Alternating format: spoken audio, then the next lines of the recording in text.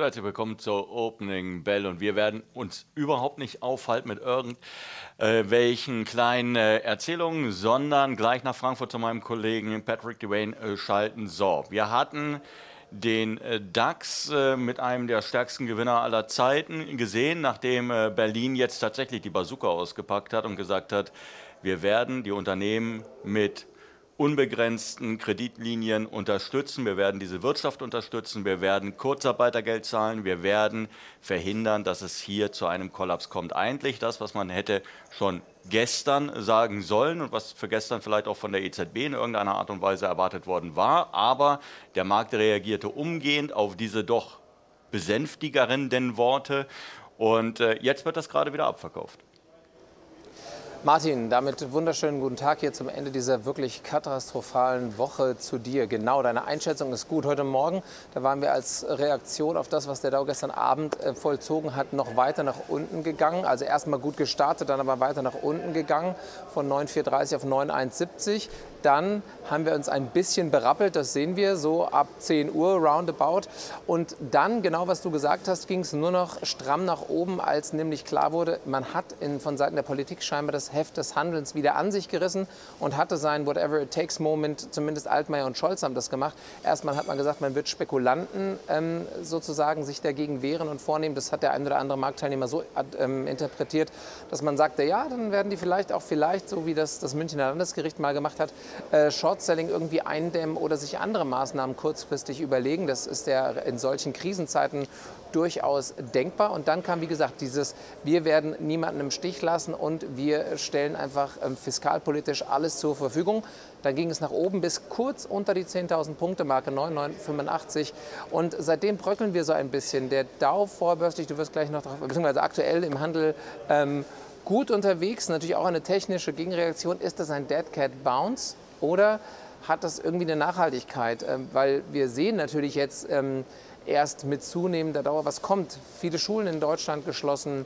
Ähm, man macht sich hierzulande auch an der Börse selber über äh, Pandemiefälle oder Situationen, was wäre, wenn hier jemand äh, vom Virus befallen wäre, Gedanken und stellt fest, naja, zumindest kommen die Leute jetzt, wo es immer näher gerückt ist und wo diese Woche rum ist, immer näher. Beim DAX keine Verlierer heute, nur Gewinner. Die Verlierer von gestern sind die Gewinner von heute, also Lufthansa vor allen Dingen, aber auch äh, die Deutsche Bank, Wirecard, die haben zusätzlich noch vermeldet, dass sie keine, ähm, die Bilanzprüfungen sind sozusagen in ihrem Sinne ausgegangen. Sie müssen dann nichts anpassen. Die Aktie heute Morgen mal 30 Prozent fester. Aktuell sind es noch zumindest so um die 10,5 Prozent. Auch da bröckelt es ab. Die Märkte sind so nervös, hypersensibilisiert die Investoren. Und äh, da muss nur ein noch blöderer Satz von Donald Trump kommen. Der hat heute schon wieder getwittert, da glaubst du auch so, der ist Präsident von was eigentlich. Aber dann könnte es auch schon wieder nach unten gehen. Also es ist dünnes Eis, auf dem wir stehen, aber die Politik hat zumindest geliefert. Genau, die Politik hat geliefert. Was wir heute natürlich auch sehen, wir haben heute Freitag. Ähm, die Anleger waren nach diesen, du hast es angesprochen, katastrophalen Wochenverlusten zwischenzeitlich vielleicht mit Positionen wieder ins Plus gelaufen oder zumindest weniger ins Minus gelaufen, je nachdem, wann sie eingestiegen sind. Ähm, es ist natürlich durchaus nachvollziehbar, dass jetzt vor dem Wochenende wieder einfach dieses De-Risking der vergangenen Wochen einsetzt und hier einfach Gewinne vom Tisch genommen werden. Aber jetzt stell dir Folgendes vor, das ist genau richtig, was du sagst. Wir haben ja zwischendrin in dieser Woche auch versucht, zum Beispiel am Mittwoch bei 10,67 den DAX, ja, ähm, Jetzt kam eine Meldung, dass die, ähm, dass die EZB das Minus beziffert im BIP für 2020 äh, mit einem Prozent. Stell dir mal vor, es wäre wirklich nur ein Prozent. Was diese Woche passiert ist, wirkt, als hätten wir minus drei oder vier Prozent auf mich. Ja. Ähm, wow, also nur ein Prozent. Also, also nur ein Prozent, da machen wir alle die, lassen wir die Champagnerkorken knallen und sagen, was war eigentlich? Hast, du hast völlig Richtig. Recht. Äh, und wir rufen die ganze Zeit von dir. Also wenn mir das einer unterschreibt, ein, ein Prozent, dann sage ich von dir Grundkapital. Wirklich. Ja, also. gut. Also wir hoffen einfach mal das Beste. Dir schönen Dank für den Überblick. Schönes Wochenende. Schönes Wochenende. Und, und es wird wirklich die kürzeste Sendung, die Sie ansonsten gesehen haben. Ich habe nämlich Folgendes gemacht. Ich habe mir jetzt ganz einfach mal die äh, Marktmover und die Marktbewegungen rausgesucht. Weshalb? Ich brauche Ihnen die Charts nicht mehr zeigen. Am Ende auf der rechten Seite geht es immer gleich die letzten 14 Tage steil nach unten und heute also die Gegenbewegung. Deutsche Lufthansa verwundert wenig. Unbegrenzte Kreditlinien bedeutet, das Unternehmen dürfte ähm, weiter bestehen. Das war ohnehin die Vermutung, aber jetzt hat man das auch nochmal in Berlin zementiert, indem man sagt, wir werden alles tun, um diese Situation irgendwie zu überstehen. Deutsche Bank natürlich äh, selbstverständlich das Gleiche. Man darf nicht vergessen, es waren wirklich die Unternehmen, die in den vergangenen Wochen so massiv unter die Räder gekommen sind, dass das hier wirklich nur jetzt vielleicht ich will nicht sagen ein Trostpflaster zum, zum Wochenausgang, aber viel mehr ist es ja letztendlich nicht. Wirecard mehr oder weniger vom selben.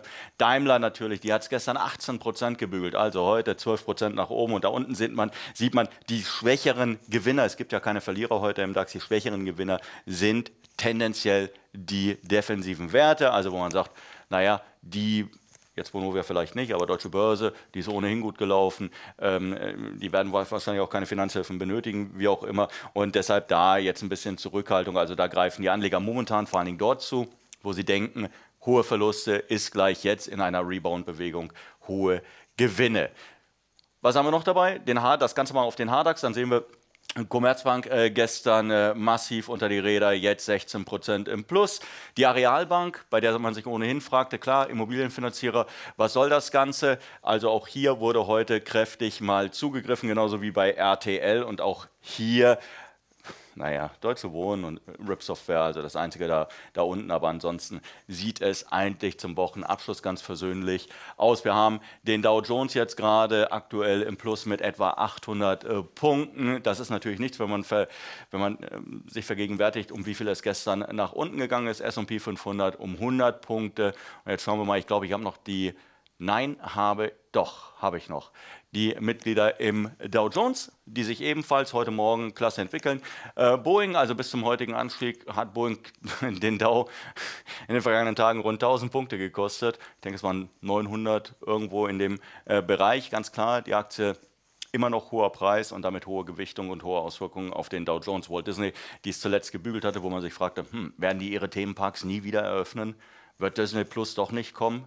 ja, und werden ähm, die Filme am Ende eingestellt werden. Aber jetzt sieht man, so schnell kann das Blatt äh, sich drehen, ja, wenn die Anleger nur der Meinung sind, aha, vielleicht gibt es doch irgendwo noch diesen Silberstreif, den berühmten am Horizont. Man sollte nur dem amerikanischen Präsidenten tatsächlich mal langsam das Smartphone aus der Hand nehmen, damit er nicht Unfug in die Welt setzen kann. Adobe haben wir hier mit dabei mit 11%, Intel 10%. Also, das ist jetzt der Nasdaq 100.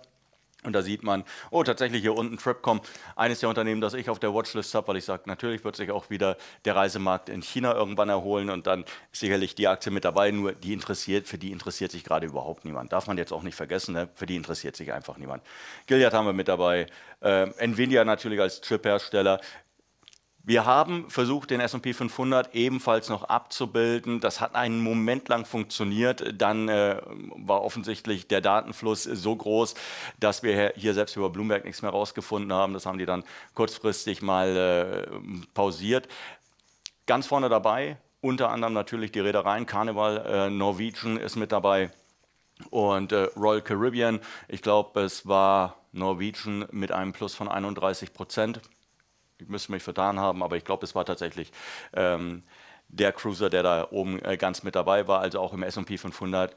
Es geht eigentlich jetzt für alle Werte stramm nach oben. Die Überlegung, die wir jetzt natürlich haben, unter Umständen wird das alles nicht halten, weil die Anleger wieder sagen, es ist Wochenende, wir wissen es einfach nicht. Jetzt haben wir hier endlich mal innerhalb dieser Woche ein paar Gewinne rausgezogen. Ich weiß nicht, wie hoch momentan das Handelsvolumen ist, aber ich glaube, man wäre überrascht, dass da doch relativ wenig Geld äh, im Umlauf ist werden wir nachher natürlich auch noch checken. Und dass man hier tatsächlich einfach dann sagt, okay, ich nehme ein bisschen was mit, ja, damit kann ich zumindest mal meine Verluste, einen Teil meiner Verluste wieder ähm, ja, relativieren und dann gehe ich ins Wochenende und dann schaue ich mal, was über das Wochenende passiert. Ja, vorsichtige Anleger werden das selbstverständlich so in dieser Art werden die überlegen und dann werden wir sehen, ob sich überhaupt noch Gewinne am Tagesende darstellen lassen oder ob wir tatsächlich sogar vielleicht wieder ins Minus rutschen werden. Man weiß es momentan einfach nicht, weil die Volatilität äh, so enorm hoch ist, dass einem schwindlig werden kann. Und bevor mir jetzt schwindlig wird, ich habe Ihnen ja versprochen, wir machen das kurz.